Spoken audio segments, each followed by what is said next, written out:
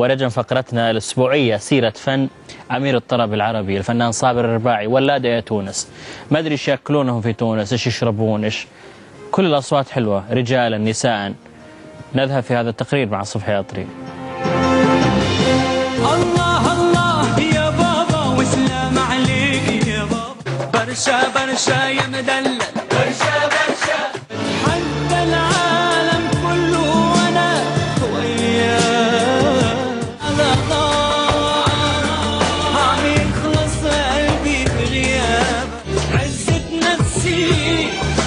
ما بتسمح لي. يا اغلى ما عندي شباكي ما سويت. انت ملكت الروح الأول وتالي. صابر الرباعي. بداية أهلا وسهلا فيك صابر. يا أهلا وسهلا. آه، شرفتنا بسيرة فن. الله يسلمك.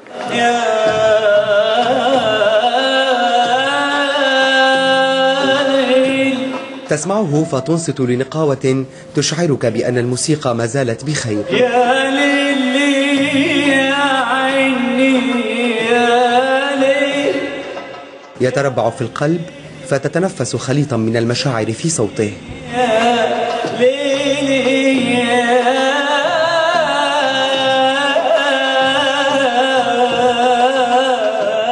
ولد في صفاقس في الثالث عشر من مارس. في جو كان لا يخلو من حب الموسيقى والفن وللطفولة ذكرى جميلة. أنا نتذكر أول مرة أول مرة غنيت فيها و...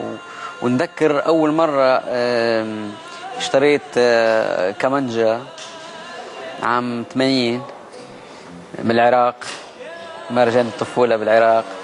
آه، أول مرة يعني آه، سمعت صوتي للعائلة. من وراء الباب.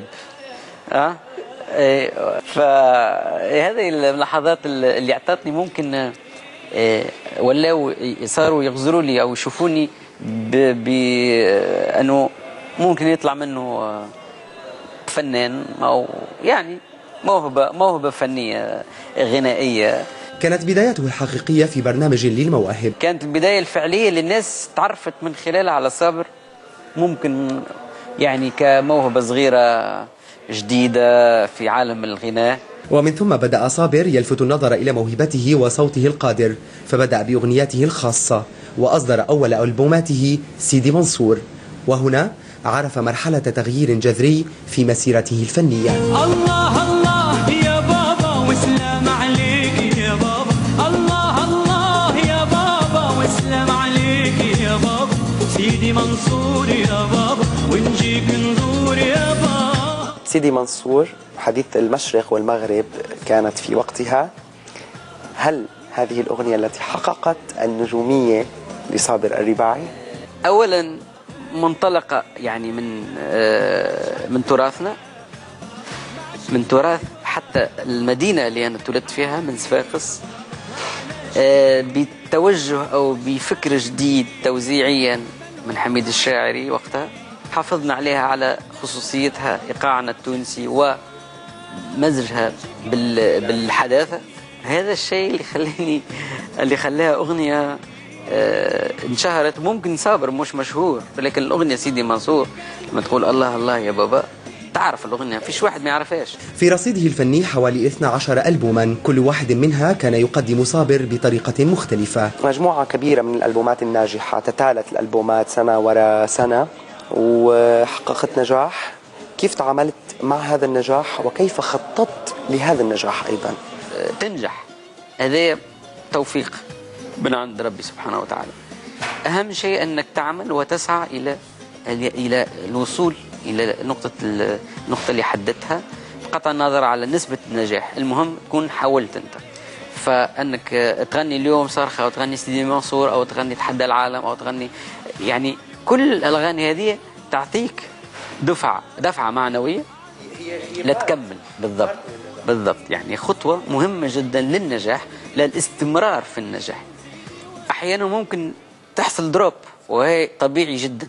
يعني حتى تت يعني تست يعني تستفيد من أخطائك أو تستفيد في نجاحك لازم تستفيد من أخطائك. عشق ليه عشق القمر.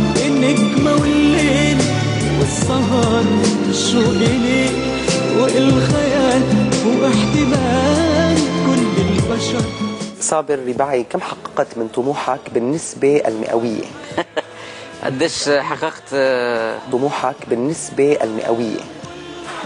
الحمد لله على اللي وصلته الحمد لله عليه يعني من ما نقدرش نحدد بالضبط.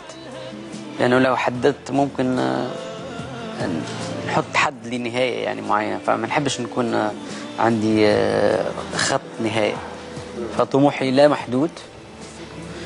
لكن اعتبر أنه نسبة مهمة من من طموحي آه، آه، حققتها وأهم شيء أهم شيء حققته هو الحب الصادق اللي اللي ما بيني وبين ال- الناس.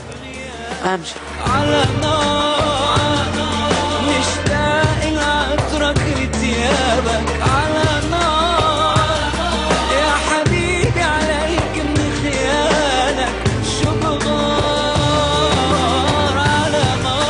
للنجاح طعم خاص وخاصة أن الرباعي وقف على أهم مسارح العالم.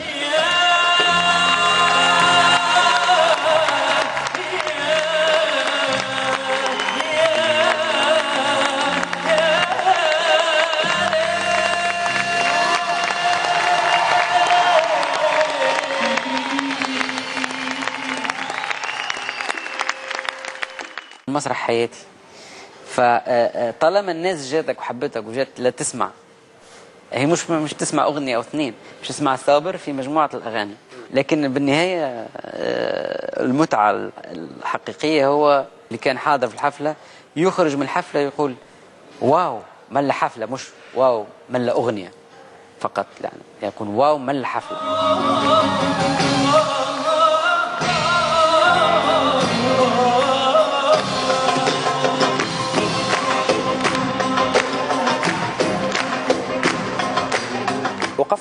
المسارح. ومما فيها مسرح الأولمبياد بفرنسا آه، ماذا بعد هذه المسارح؟ نحب بالي دي كونغري في في قصر المؤتمرات بفرنسا. ممكن ممكن ألبرت هول بلندن. قلت لك أنا طموحي خيالي ما يقفش عند حفلة آه، في مسرح صغير أو حفلة خاصة أو حفلة مش عارف شو. أنا نتمنى يوم من الأيام نتمكن من أداء حفل كبير بإمكانيات تقنية كبيرة يوم من الأيام. إن شاء الله.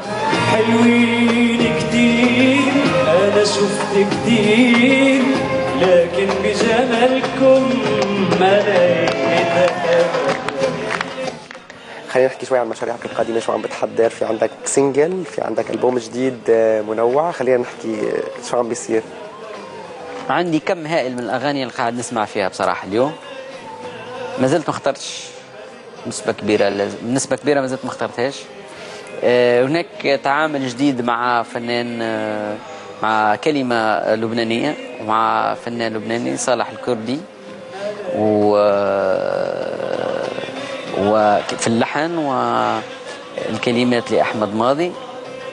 من أول الأعمال اللي أنا شخصيا آه، انشدتني. آه، نفس الشيء أنا اليوم آه، أبحث عن الأغنية الجديدة أبحث عن الأغنية ال- آه، ال- الرومانسية والأغنية الطربية والأغنية الخفيفة والأغنية الخليجية المميزة الكلمة ال- ال- الجد جد آه، جميلة ورائعة.